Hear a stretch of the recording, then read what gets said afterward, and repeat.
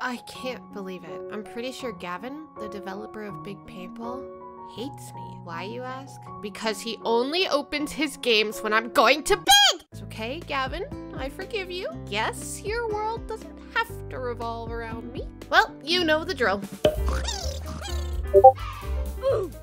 This is what I saw. Upon entering the game, I saw the same things. Choose your gun, crates, streaks, and a brand new map. Except this time, I was alone. No one to be found. Deserted. On what looks like to be the new Bridge 2019 map. On the bright side, I have no one to bother me while I explore. Let's start with the ominous looking hole. I jump inside and see two long and bendy pathways. These pathways will be different later in the video, so pay attention. I swear, walking down these pathways felt like watching Frodo Baggins walk all the way to Mount Doom. It just never ended. When I finally reached the other side, I was greeted by an identical base to mine. This map is still in development, so I imagine it's going to change to red in the future. With the underground explored, I wanted to take a look above ground. I noticed new trees that you could see through, beautiful glass pillars, and some really cool rocks that almost hid the path to the back of the castle.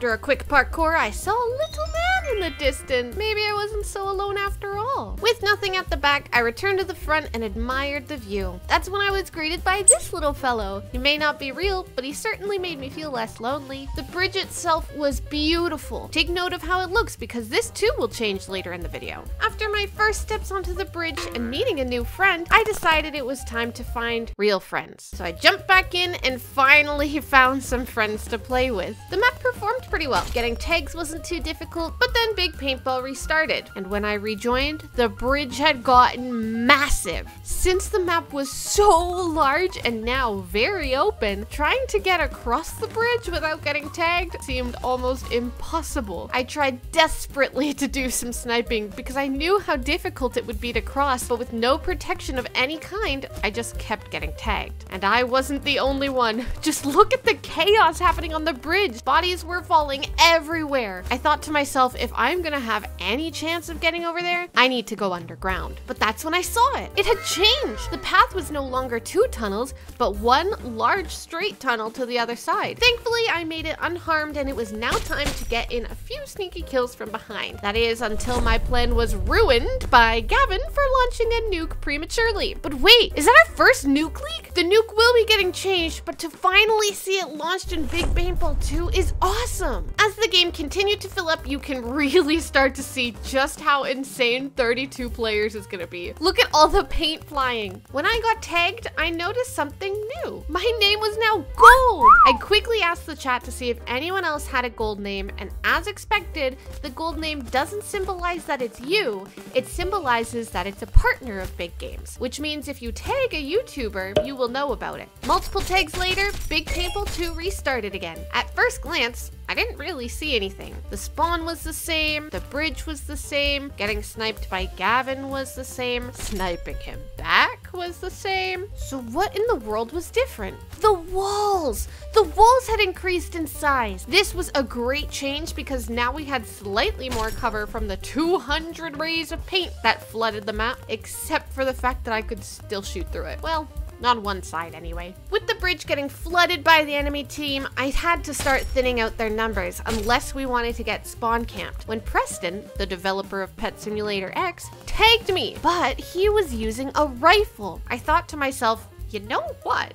That's actually not a half bad idea. With a map this big, getting the extra range on your weapon is important. So I switched over to the rifle and that made a world of a difference. Even though the bridge was still very hard to cross, hitting the enemies on the other side was much easier. As long as you're not like me and jump off the side of the map. With the leaderboard this size, I knew there had to be loads of people. How in the world are we supposed to fit 32 of them at the top? The answer is simple. You don't.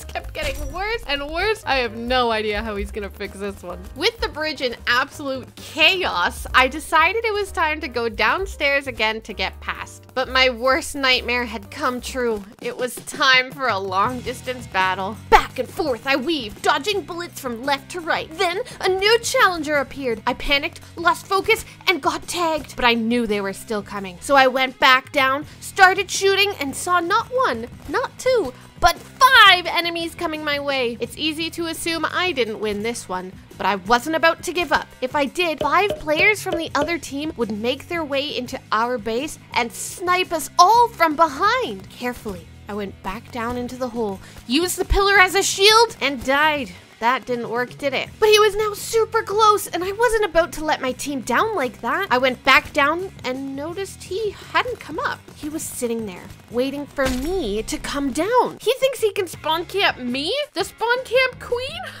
As if! I took out his teammate, then very carefully turned to take out the campers. We were safe. That is, until a server restart. What could be changing now? The bridge! It now had a mini bridge right on top of it. And let me tell you, I really like this change. It makes getting across way easier and gives you more protection from the hundreds of oncoming bullets. Since it had been a while since I last tried, I decided to give the radar a go. And to my surprise, it actually worked. Now, what I noticed upon reviewing this footage is that if you can see the enemy and they're not hiding behind a wall, the purple diamond won't actually show above their head. But any hidden enemies are now identifiable. As I was making my way across the bridge, I noticed a little hiding hole. But just before I could get there, bang, I got tagged. But when I finally managed to get inside, I decided this was my new home. I felt like the grumpy old troll who lived under the bridge. I had a party, got loads of tags, and it genuinely became my favorite spot to spawn camp camp. It was only slightly more fun than hiding in plain sight, taking unexpected victims from right inside their base, especially when Monkey knew I was there but just couldn't manage to tag me. Since I now had enough for a drone, I tried to spawn it, and I was not expecting this. This is what you would see if you were about to spawn a sentry in, but my goodness, this looks way cooler than it does in the original paintball. Since it was getting pretty late, I decided that it was time for me to head to bed.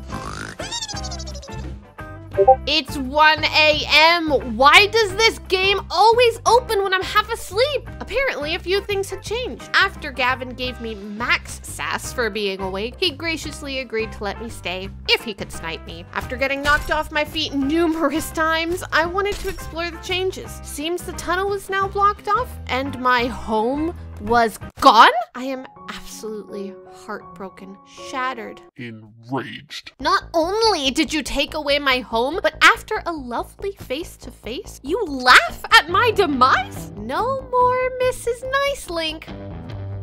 That's what you get! His acknowledgement of my quick reaction definitely made me feel better, but it wasn't enough. When Gavin noticed he broke the leaderboard, I knew this was my opportunity. He restarted the game and...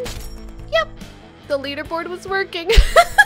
A sassy message and multiple quick tags later, it was time for the game to shut down. See you next time, Big Paintball 2.